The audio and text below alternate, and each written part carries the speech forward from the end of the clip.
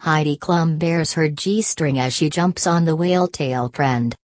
Proved to be hip with the latest fashion trends as she showed off her take on the whale tail. On Thursday the 48-year-old supermodel posted a video dancing around in sweatpants with her G-string proudly exposed.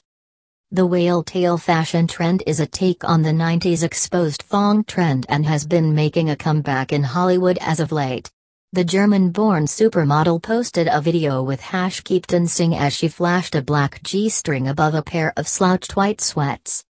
She hiked her matching sweatshirt up to expose her rock-hard ABS and moved her hips from side to side before doing a few body rolls for the camera. Heidi brought the sunshine to a gloomy Los Angeles day with her dance display, and looked to jumpstart her morning with a bit of feel-good movement. Though the whale tail trend has most recently been made popular by younger starlets including Kendall Jenner, Bella Hadid, Hailey Bieber and even Julia Fox, Klum proved with the right amount of confidence it can work at all ages. Ing of undergarments above low-rise jeans, several designers have begun to combine the trousers and underwear together in a single garment.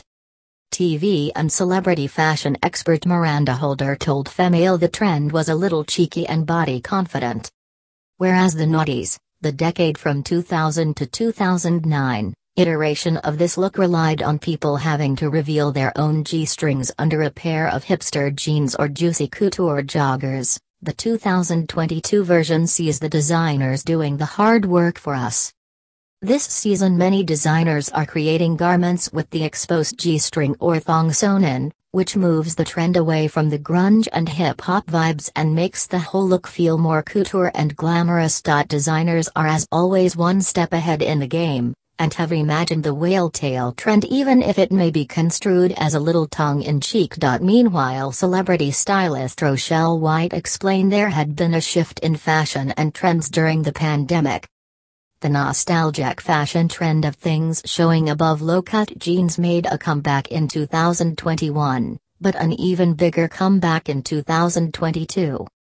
This look has been found on trousers, skirts, and jeans.